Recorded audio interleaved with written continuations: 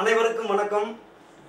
இந்த தமிழ் புத்தாண்டின் நன்னாளிலே நம்ம ஊர் தொலைக்காட்சி சூப்பர் டிவியினுடைய நேயர் பெருமக்கள் அத்துணை பேருக்கும் தமிழ் புத்தாண்டினுடைய சிறப்பான வணக்கங்களையும் வாழ்த்துக்களையும் இந்த கலாய்ப்பு மன்றம் சார்பாக தெரிவித்து உண்மையிலேயே நம்ம திண்டுக்கல் மக்களுக்கு மட்டுமல்ல கிட்டத்தட்ட ஒரு ஐந்தாறு மாவட்டங்களுக்கு நம் சூப்பர் டிவியை சொல்ல வேணாம். அப்பேற்பட்ட அற்புதமான சமூக பணிகளில் ஈடுபட்டு மக்களை சந்தோஷம் மட்டும் படுத்தாம அறிவுபூர்வமான பல நிகழ்ச்சிகள் மூலியமா நமது இல்லங்களையும் உள்ளங்களையும் மகிழ்விக்கின்ற நம்ம ஊர் டிவி சூப்பர் டிவி சார்பாக இன்றைக்கு ஒரு அற்புதமான நிகழ்ச்சி. ஒரு கலாய்ப்பு மன்றம். நீங்க பார்த்துருப்பீங்க பாட்டு மன்றம் பார்த்துருப்பீங்க பட்டி மன்றம் பார்த்துருப்பீங்க. அந்த கோணத்தில் இது ஒரு வித்தியாசமான நிகழ்ச்சி.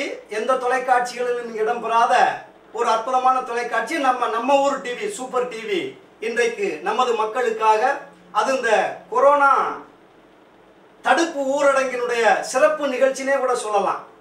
ஏன்னா இன்னைக்கு உலகமே ஸ்தம்பிச்சு கிடக்குது. அப்பேற்பட்ட இந்த காலகட்டத்தில் கொஞ்சம் வீட்டில் இருக்கிறவங்கள கலகலப்பாக சிரிக்க வைக்கணும். அது நம்ம ஜாக்கிரதையாக இருக்கணும் பாதுகாப்பாக இருக்கணும். இந்த கோணத்தில் ஒரு அற்புதமான தலைப்பு நமது தொலைக்காட்சி அற்புதமான தலைப்பு கொடுத்துருக்காங்க.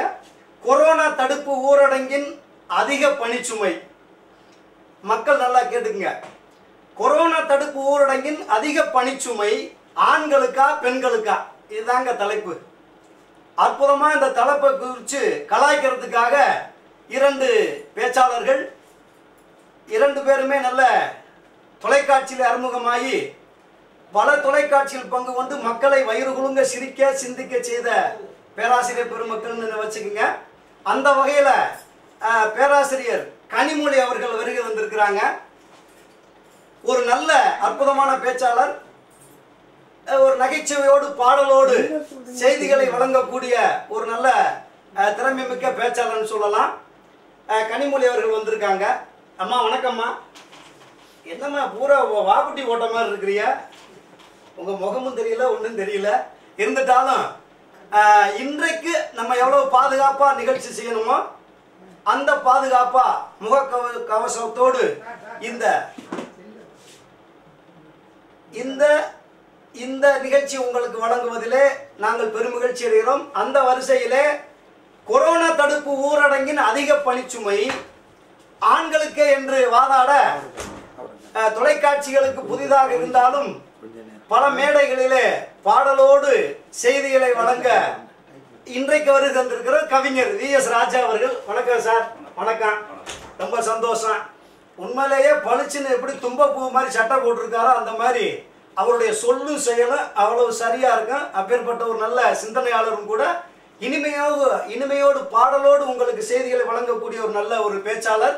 இப்ப இவங்க தான் நம்மளோட இருந்து கலாய்க்கிறாங்கன்னு இல்லை. இந்த நிகழ்ச்சியே உங்களுக்காக தான் இந்த நிகழ்ச்சியை கண்டு கழித்துக் கொண்டிருக்கக்கூடிய ஒவ்வொருவருமே இந்த நிகழ்ச்சியில் பங்கு கொள்ளலாம்.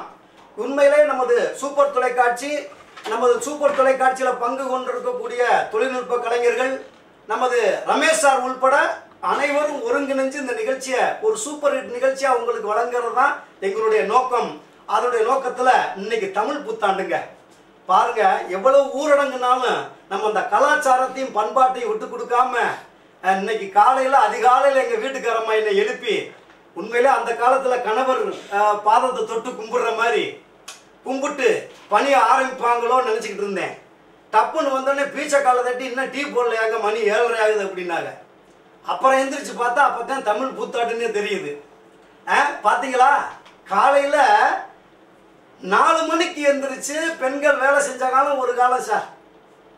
உங்களுக்கு தெரியாது ஒன்றும் இல்லை நாலு மணிக்கு எந்திரிச்சு என்ன செய்வாங்கன்னு கேட்டுறாதீங்க. நான் அப்படித்தான் சொல்லிக்கிட்டு இருந்தேன். எங்க வீட்டுக்காரமா சொல்லிக்கிட்டு இருக்கு பக்கத்துல நான் நாலு மணிக்கெல்லாம் எந்திரிச்சிடுவேன் அதுக்கு அந்த கிளவி கடிச்சு நாலு மணிக்கு எந்திரிச்சு என்னடி செய்வேன்னுச்சு எங்க வீட்டுக்காரரை எழுப்பி விட்டு நான் படுத்துக்குவேன் அப்படின்னுச்சு.